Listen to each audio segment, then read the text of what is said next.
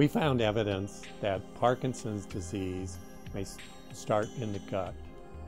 And what we did was we injected a pathologic form of alpha synuclein into the stomach of mice, and we showed that it ascends up the vagal nerve, and over time, it creates Parkinson's disease in a mouse.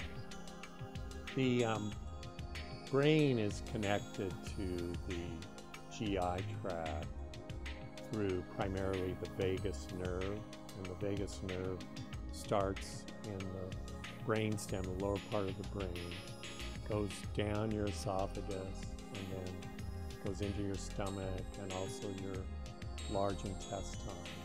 And it controls the digestive function of the gastrointestinal tract.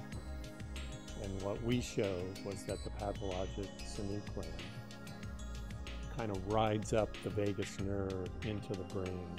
And then from there, once it's in the brain, then it spreads from cell to cell to create the symptoms of Parkinson's disease.